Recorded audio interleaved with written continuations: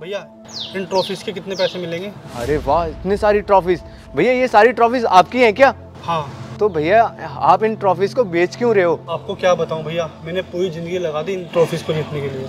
लेकिन भैया मेरा सपना था कि एक मैं बहुत बड़ा एथलीट बनूं। मैं कुछ नहीं कर पाया अपनी ज़िंदगी में। भैया मेरे पास खाने के लिए भी कुछ नहीं है। जितनी भी मेरी सेविंग्स थी ना सब खत्म हो गई भैया मुझे समझ नहीं आ रहा मैं क्या करूँ इसलिए मुझे ये सब बेचना पड़ रहा है। भाई तू ये सब बातें छोड़ तू ये बता इनके कितने रुपए मिलेंगे? भैया मैं इन सारी ट्रॉफीज के आपको दो सौ रुपये दे दूँगा।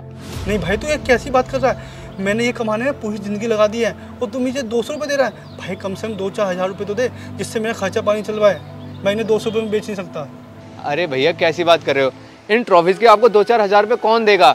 मैं तो आपको जानता हूँ इसीलिए आपको दो सौ रुपये दे रहा हूँ वरना इसकी कीमत तो पचास रुपये भी नहीं है। चल भाई कोई नहीं तू दो सौ तो दे।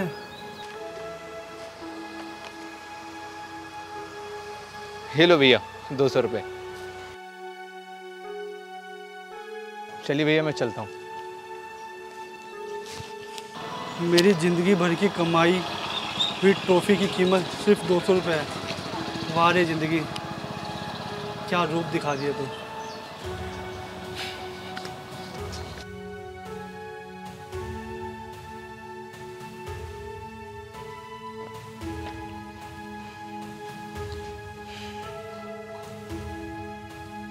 अरे ये ट्रॉफीज और मेडल यहाँ के कर रहे हैं। इनको तो मैं बेच के आ गया था। साक्षी साक्षी। हाँ जी बोलिए। साक्षी ये सब क्या है? इनको तो मैं बेच के आ गया था तो ये यहाँ पर कैसे आ गए? मुझे पता है कि आपने ये सारी ट्रॉफीज़ ना कबाड़ी को बेच दी थी लेकिन मैंने उस कबाड़ी से ये सारी ट्रॉफीज़ खरीद ली। लेकिन क्यों साक्षी? क्योंकि मैं जानती थी प्रिंस कि आपने ये ट्रॉफीज़ जीतने के लिए कितनी ज़्यादा मेहनत करी है। लेकिन अब इन सब का क्या फ़ायदा? मैं जानती हूँ कि अब इन सब चीज़ों का कोई फ़ायदा नहीं है।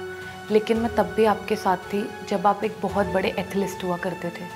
और आज भी मैं आपके साथ हूँ। मैंने आपकी आँखों में वो जुनून वो पैशन देखा है जो आपके गेम के प्रति है। मैं नहीं चाहती कि आप घर की दाल रोटी को चलाने के लिए यूँ अपनी ये ट्रॉफीज़ ऐसे कबाड़ी में दो सौ रुपये में बेच दें लेकिन साक्षी, एक बात बताओ, मैंने पूरी ज़िंदगी खवा दी इन ट्रॉफीज़ को जीतने के लिए। लेकिन मेरे पास एक नौकरी नहीं है तो इन ट्रॉफीज़ का क्या फ़ायदा? मैं जानती हूँ कि ये वक्त हमारे लिए सच में बहुत कठिन है, लेकिन आप क्यों टेंशन ले रहे हैं? मैं हूँ ना आपके साथ और हमेशा रहूँगी। क्या हो गया? अब मैं जॉब कर लूँगी, है ना? और मुझे सच में कुछ नहीं चाहिए आपके साथ के अलावा।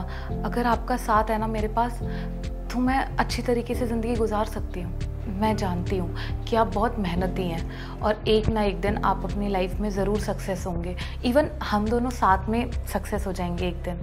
बट ये ट्रॉफ़ीज़ बेचने से कोई फ़ायदा थोड़ी ना है। दो सौ रुपये के लिए ट्रॉफ़ी बेचने का कोई मतलब नहीं बनता। अगर ये ट्रॉफ़ीज़ आपके पास रहेंगी तो एटलीस्ट आपके पास हौसला तो रहेगा।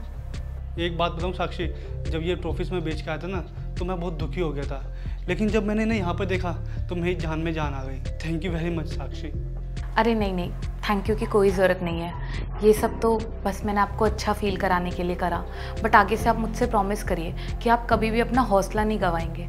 वो तो अच्छा हुआ कि मैंने आपको ये ट्रॉफ़ीज़ बेचते हुए देख लिया था और मैंने आपको ये ट्रॉफ़ीज़ बेचने से बचा लिया।